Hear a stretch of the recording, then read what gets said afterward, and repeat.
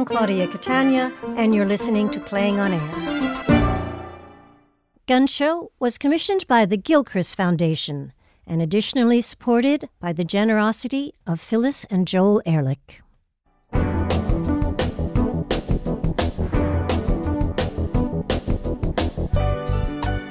You are about to hear Gun Show, presented in front of a live audience at Playwrights Horizons in New York City. It was written by David Auburn. His plays and screenplays include Lost Lake, The Lake House, and Proof, for which Mr. Auburn won the Pulitzer Prize and the Tony Award.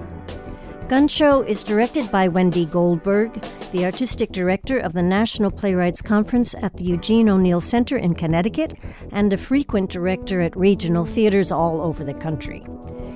Gun Show features Bobby Cannavale, Emmy winner for his work on Will and Grace, and HBO's Boardwalk Empire, Eisa Davis of House of Cards, The Wire, and Broadway's Passing Strange, Lucy DeVito of Hulu's Deadbeat, Martha Plimpton, whose stage work has earned her three Tony nominations and on TV stars in Raising Hope, The Real O'Neals, and is an Emmy winner for The Good Wife, and David Furr, Tony nominee for Noises Off and TV presence on Madam Secretary and The Blacklist.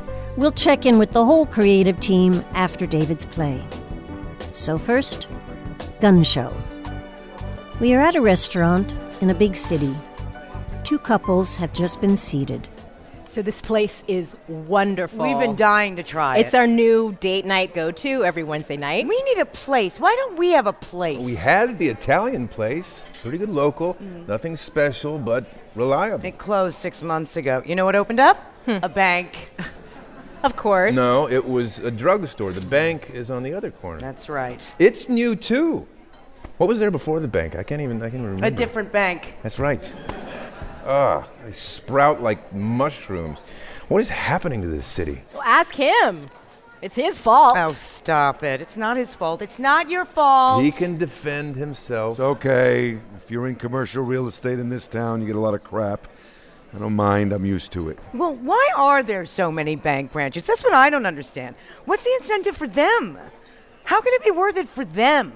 I just don't believe it could be. It is. They know what they're doing. I'm hungry. What's good here? Everything. I'm thinking about the tilapia. oh, that I don't recommend. Oh. Well, Also, well, see, it's not the kind of place where you order an individual entree. Uh, they kind of have a Good different. evening. How is everybody tonight? great. Good. Outstanding. Have you dined with us before? many, many times. Perfect. So, you know, we do tapas style small plates, and we do strongly encourage sharing and experimentation. For a party of four, I'd recommend between 12 and 16 items to start. And you can see they're divided into four columns. All the columns in column C are vegan and gluten free, and availability is limited on some items. We do source directly from the listed farms and fisheries, and unfortunately, we are already out of the ramp crostini. Got it. I'll give you a minute. Uh, can I bring anyone some drinks in the meantime? Oh, for God's sake. What are you doing? Put your phone away. I'm sorry, I just got a text alert. There was another shooting in Ann Arbor. Oh, no. What does it say? Well, they don't know. Some guy went and shot up his office. Four dead? It's just awful. It's awful. Every day, it seems like. Every other day. I know Ann Arbor. Ugh. Some of my high school friends went to school there. Oh, it's it's like a gut punch. Well, they got him at least, looks like. The police shot him. He's not expected to survive. Please put the phone away. Look, it's happening. It'd be wrong just to ignore That it. That doesn't mean we have to think about it this minute. It's just terrible and there's nothing we can do about it. Uh, w- uh, the official death toll is now six. Will you please put the phone away? Yeah, okay, sorry. No, you're right. Sorry. So, what can I get you folks to drink? Oh, um, uh, we'll have a look at the wine list. Um, but just some water would be fine for now. Still sparkling or tap? Tap. No problem. And some bread would be good. No problem.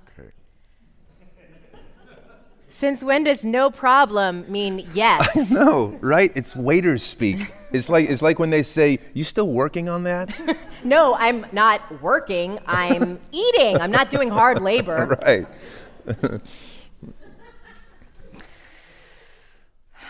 I'm sorry. I just.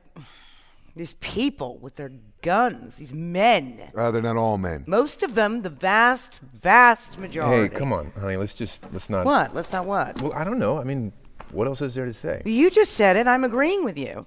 We can't ignore it. I think it's an important subject. If we can't talk about Well, I just wonder though if it trivializes it to turn it into, you know, uh, dinner table chit Yeah, chat. you can trivialize anything. well, right, sure, no, absolutely, but you know, we're all just trying to relax and. Okay, okay, we won't discuss anything real. Let's talk about a new TV series or some ugly dress some actress wore at some award show.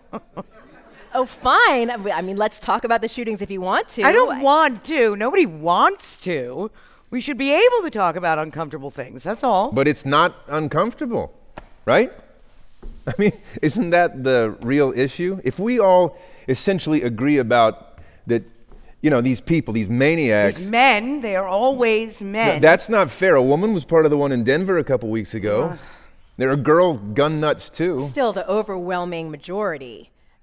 I mean, the gun thing, it's some kind of overcompensation.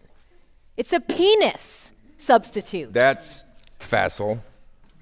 well, they're definitely overcompensating for something. I think it's maybe too easy for us in our little bubbles to say that. oh, it's I am so sick of that bubble garbage. Everybody's in a bubble. It doesn't mean I don't have the right to an opinion. Of course you do. Nobody's I saying mean, you don't have yes, right- I'm in a bubble, but they're in their own bubbles. The only difference is they have guns in there with them in their bubbles. Oh, wait, did you see the footage of those clowns in Texas or somewhere carrying their shotguns into a donut shop? They shop? were rifles. Well, whatever they are. They, they look like machine guns. They're semi-automatics. well, a, a whole bunch of them went into a donut shop or a chain restaurant of some kind. the Chili's. and, we, and they're filming the whole thing. One of them is filming it on his phone like it's a reality show. I saw that. It went viral. Half of them are overweight. They're obese. What does that have to do? What does that have to do with anything? I think it probably has a lot to do with it. How? I think How that who cares if they're overweight?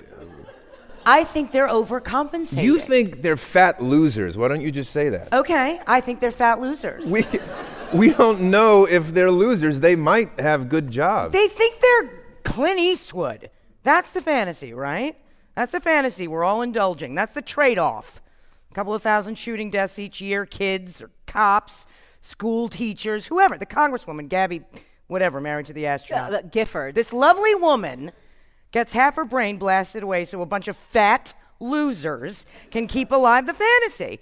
When they're not sitting on their asses playing shoot 'em up video games or looking at porn, then in a standoff, in a Tarantino movie standoff, they'd be Clint Eastwood. Clint Eastwood never did a Tarantino movie. Oh, wh- or whoever.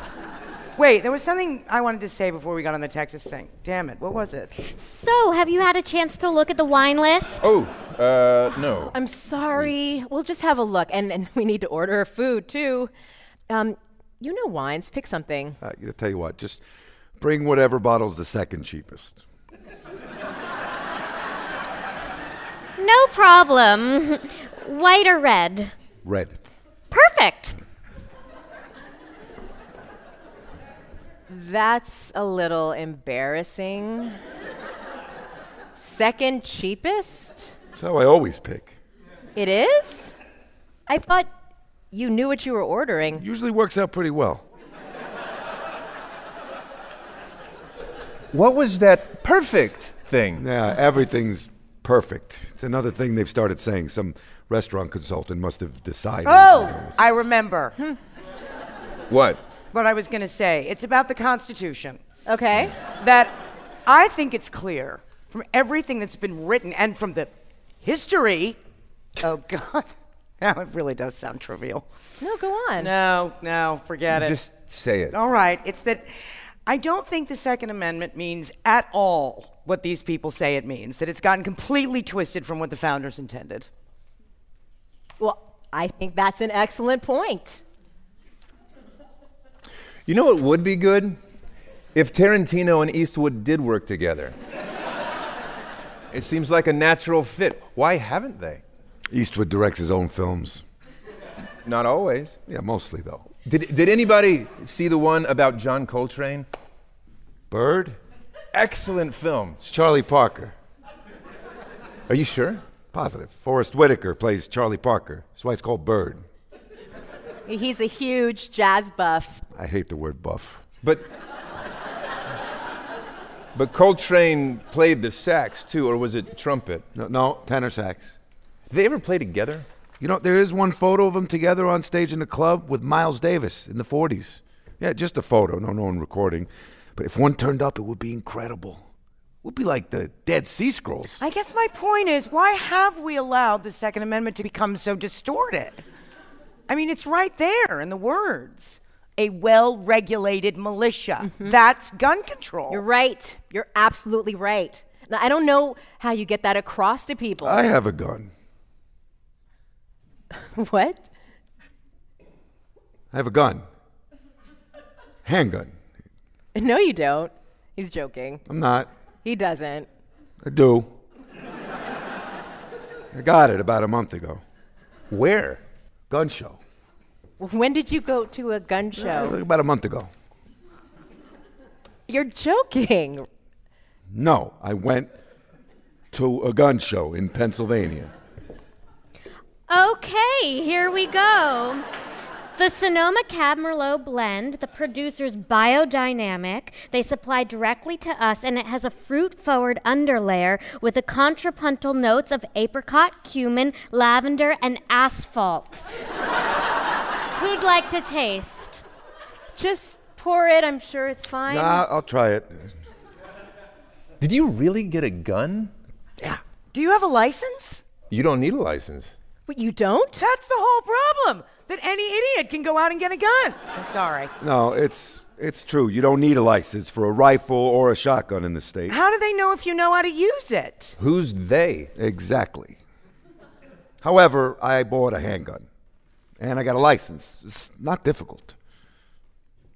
So, Oh, I'm sorry. Uh, you know what? It's very nice. Thank you. no problem.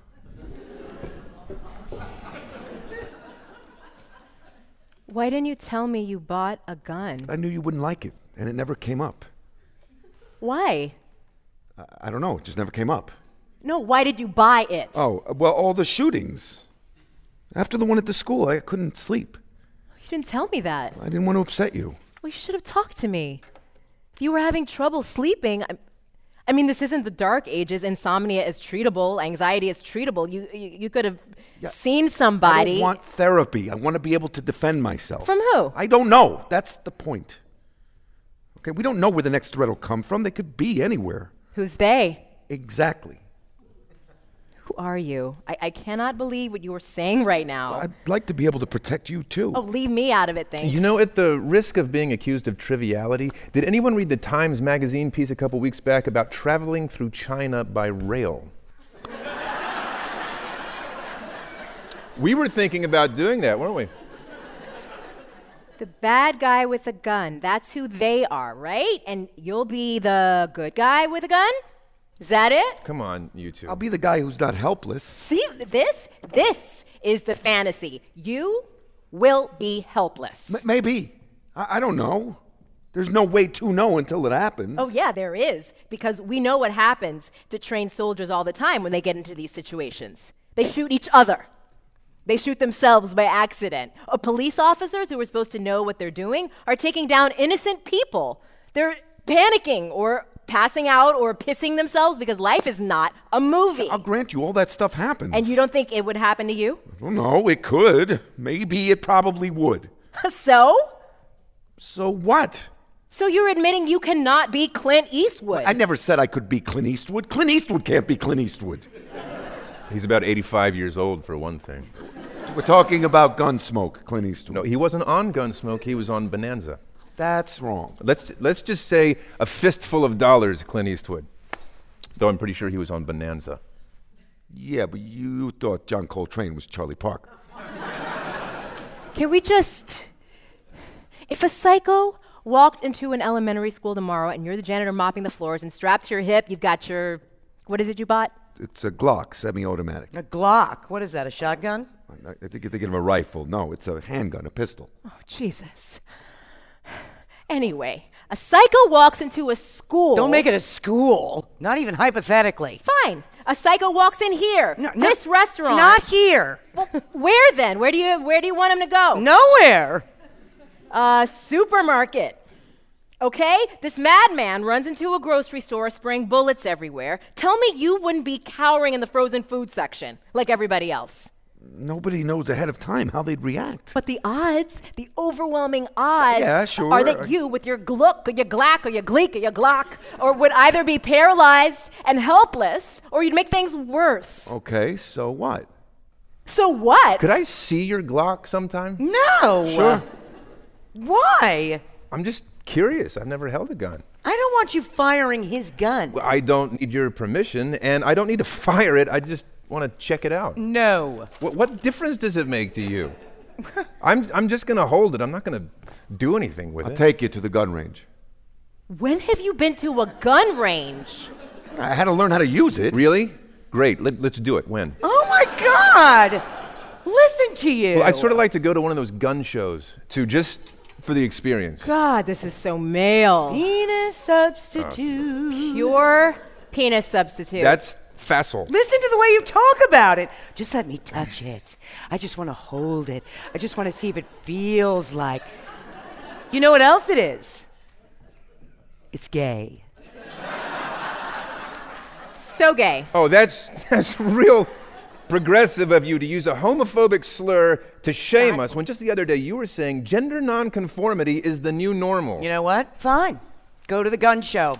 Live out your little bloodletting sicko fantasy. Maybe the real fantasy is assuming that you know anything about it when neither of us have the experience. And maybe if we just got out of our little bubbles once in a while. I like my then- bubble. I like it, and I'll stay right here in it. Thanks. Still can't believe you bought this thing and didn't tell me. Where do you keep it? Is it in our apartment right now? Wait, are you even listening to me? What are you doing? Rawhide. What? Uh, I googled it. Rawhide. Eastwood on Rawhide. That's right. Rawhide. See this? He thinks he can take down a madman in a supermarket? You'd be too busy Googling how to take down a madman in a Hey, all right, supermarket. all right, all right. Look, you want to talk odds? I'll give you odds for the supermarket. Let's say the odds are, I don't know, 90% I'd be ineffective. 90% you'd be panicking and pissing yourself. Fine. Make it 95 if you want. Make it 99. Fine. I think that's too high, but all right.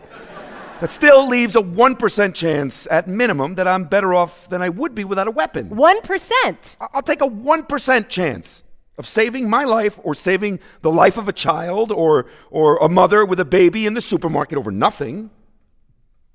Who wouldn't? And, and, and I say 1% is low. I think it would be 3 or 5. Uh, five. There was a water bug in the bathroom last week. You made me come and kill it. I didn't have my shoes on. If you'd had your Glock on you, you could have taken that water bug down. You feel lucky, bug? Do you? I would have squashed that bug if I had shoes on. I've killed more than my share of bugs and roaches. Be fair. People aren't roaches. No. A guy who's shooting children is worse. I think he's worse than a roach. He's worse than anything. And I think even the smallest infinitesimal sliver of a hope against a creature like that is better than surrender. Now, you can call that a fantasy. Maybe it is. Maybe a chance that small borders on fantasy. But I'll still take fantasy over no hope at all. Take that over the certainty of dying screaming in the frozen food section or watching children die and doing nothing. I guess it's just how I feel. Who are you? I don't even know who you are. So, have we had a chance to make some selections? Oh. Uh, Oh, no, sorry. It's okay. Take your time. we're all going to focus on it now. We promise. It's no problem. Take your time. Oh, looks so good. What'd she say about column C again? Uh, locally sourced. No. Vegan. Oh. Right. It's all locally sourced. Right. Okay. Well, we better decide. Everything's good here.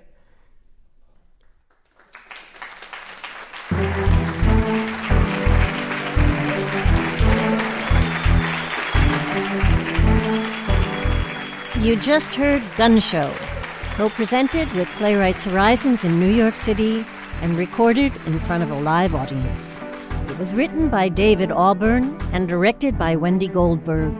You heard Bobby Cannavale and Eisa Davis as couple one, Martha Plimpton and David Furr as couple two, and Lucy DeVito as the waiter. Gun Show was commissioned by the Gilchrist Foundation and supported by Phyllis and Joel Ehrlich. Additional thanks to the New York State Council on the Arts, the Horace W. Goldsmith Foundation, and Josie Merck. David Auburn, playwright. The Gilchrist Foundation commissioned this play um, and gave you carte blanche. Why did you choose this subject? Well, it's all around, right? Um, I mean, I wrote the play a couple months ago, and of course, you know, it became timely again a few weeks ago.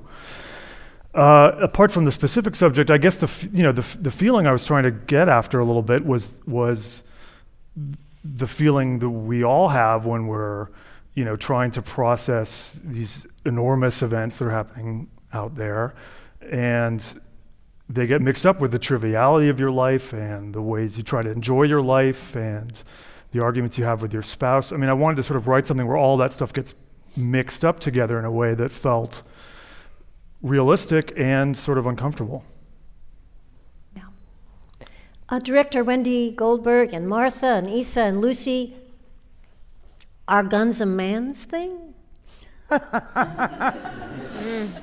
A lot of things are a man's thing, or a, at least a power thing. Let's say mm-hmm. that. Let's mm-hmm. put it mm-hmm. that way. Yeah, that's um, and and it's far too complicated and nuanced and d- difficult to get into in this setting and with the time we have. But I think it's fair to say that there's a certainly an obvious reason why people talk about it because m- most of the people who are responsible for these mass shootings are men. Well, I think the responsibility that we have is around gender roles, which are socialized and are cultural. And if we m- make it okay for, you know, all of our kids and all of our stories to be around violence in a way that isn't sort of recognized uh, as um, you know something that is just the fun of aggression that is in us, but actually is about dehumanization. If we can, yeah. that's where our responsibility lies. Violence is a man thing globally, mm-hmm. but guns are an American thing. no, I mean, I think you make an excellent point. Mm-hmm. Violence is most often perpetuated and expressed around the world by men for whatever reason, and I think you make an excellent point about uh, gender roles and patriarchy and all of this. But guns are American, very much American. Well, speaking of guns, um, Bobby Cannavale, uh, as an actor, you've probably handled a fair amount of guns. In your case, in Clint, it really is a fantasy when you, when you handle them for work. Have you realized anything about guns just by virtue of playing with them? The first time I handled a gun at work was trip was a trip. It was it was nobody taught me anything about it. They just showed it to me and they said it's unloaded and they clicked it back and they gave it to me and and I thought no one's taught me how to do this. No one taught me how to pull the trigger. I guess it's it's just an assumption that you know how to do this. Mm. It's sort of presented in a way that's very like it's a toy. And it's not a toy, of course. And the first time that I handled it, I remember being really sort of freaked out by that. And I immediately went, it was in Los Angeles, and I immediately that weekend, I asked somebody if they would take me to a range so that I can know how to work these things and understand their power. And, um, you know, they're, they're killing machines, they're incredibly powerful instruments of death. And, and since then, yeah, I've handled them many times in movies and television and all that. And yeah, it's uh, gosh, what are you going to do? I mean, I play a lot of people, a lot of killers. You know? Yeah. Got to make a living. yeah. Yeah. yeah. I don't own a gun. I don't. I don't believe in owning a gun. Yeah. Yeah. I had a different experience than Bobby. I was doing a movie, and but it was a, it was uh, it was a war movie. So there were, you know, you show up early, and there were Navy former Navy SEALs uh, there to put you through some training. And in that instance, they want you to look like you really know what you're doing. And you know, we were we didn't know exactly what we'd be getting into. We might have to be trading, you know, changing out magazines and stuff like that. And David so luckily, I had th- a this is the Benghazi film? yeah. Luckily, they gave me some training on you know that kind of stuff, uh, which is good because you know I'd never handled M5 rifles before, and And you don't want veterans laughing at you. no, no. I mean, and also you know in that particular thing, we were portraying real people. Yeah. But but the, the in, and in my experience, it's a lo- it's a lifetime of various uh, exposure to guns of different types, shotguns. You know, fired my first shotgun when I was ten years old. Uh, in the woods at a you know a friend's house in the country, and ta- we learned at a very early age to have respect for the weapon, how to use it, and that is a very that is the the most common American experience with people, children who grow up around, you know, rural Americans who who who- whose guns are integrated into their cultural lives. I also have the experience of, you know, playing shoot 'em ups in movies and having a gun or in a TV show or whatever. I don't know. It, it's what comes up for me reading this play. I, I don't really become sort of wrapped up in the gun debate reading this play for some reason. Somehow, for me, reading this play, I become more, I'm, I'm more sort of um, intrigued by the ways in which we process these sort of uh, cultural conversations, the way they're integrated into marriage conversations socially, what class has to do with it. The, the, the thing about a guy who decides in this time of turmoil and male diminishment culturally that this is the time he should have a gun. You know, these are the things I'm thinking about in the play, but larger, bigger, like political conversations about gun control and stuff. Yeah. I don't, it doesn't wa- wake up. I don't, Well, I feel like I mean it does it does for me. I mean, I feel I feel like the play is really about a pro- proliferation of fear, which turns mm-hmm. into a proliferation of guns. And I I mean, I similarly have spending time in Birmingham growing up also had that experience of you know shooting at a young age but then also have the experience on the other side of the gun where I've had a gun to my head Yeah. you know in my own driveway I've my father was shot by a cop um, so you know I I uh, I was held up at gunpoint as well. yeah so um, And your character, Martha, your character strikes me as the most anxious at the table in a way. She's the one who most often tells her husband to put his cell phone away. And I'm just wondering do you think that one of the things that might be feeding our collective anxiety is being constantly plugged in? That's an excellent point, and, and perhaps that's true.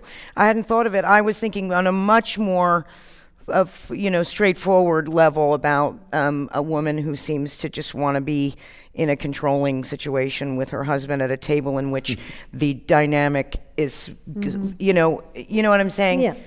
Let's do it again because I want to have that in my mind when I'm doing it. Um, uh, Eisa in David's play, Martha's character says, I like my bubble. Why is it that you think people today are so often unwilling to leave familiar territory? Essentially, they're, they're allergic to people with different mindsets. Um, Wendy? Yeah. I mean, I think it's again, it's it's very, it's very frightening and difficult. I think to be outside of your comfort zone and to not know exactly what's going to be coming at you. As enlightened, as enlightened people, we're trying to be sort of both protective of what we believe in, but also and, and our families and you know who we are, but at the same time be open to other perspectives. And uh, and I think it's hard. It's very difficult to have to hold both of those things. I think present at the same time. And so I think that we strive for these things. That's the hope. Um, but sometimes it's tough. Sometimes we have to be protective of, of who we are and what we believe, and because we and we, we know it's going to be met with you know difficulty and criticism, and so it's I think it's um, a real uh, huge challenge. Yeah. And there's other things that, that David brings up. Um, the characters have pet peeves in terms of language, such as people saying, you know, no problem when there is no problem, or perfect or outstanding when the thing is neither perfect nor outstanding. David, why'd you bring that up? Well, it's the messiness of a conversation, right? I mean, I think, you know, I wanted to have these moments where you're, you know, you're engaged with this giant public policy issue, but then you want to remember was Clint Eastwood on Gunsmoke or Bonanza, and that suddenly assumes an importance. At least, I mean, I've been in a situation where it assumes importance in my mind where I cannot stop myself from pulling my phone out. So, and it's and it's and I don't like that, you know, in myself. But I recognize it as being part of the sort of tug of war on your attention that that that you deal with, you know, in the way we live now. I'm afraid I could talk forever about this, but I have to wrap it up. So I want to thank David for teaching me how to order wine. And I want to thank all of you for being here and sharing your time and your talent with Playing on Air. Thank, Thank you. you. You've been listening to Playing on Air, great American short plays with great American actors. Theme and play music by Tom Cocham. Recording and sound design by John Kilgore. Associate producer Sasha Spitzer. Literary and Development Management, Lucy Fleming. Marketing, David Mayhew. Social media, Jenna Lauren Freed. Assistant to the producer, Bonnie Antosh. Distributed by PRX, Public Radio Exchange. We invite you to visit our website at playingonair.org where you can stream short plays and find information about our artists and plays. Join us on Facebook or Twitter and subscribe to our podcast on iTunes. While you're there, leave us a review. We value your opinion. For Playing on Air, I'm your host, Claudia Catania. Thanks for listening.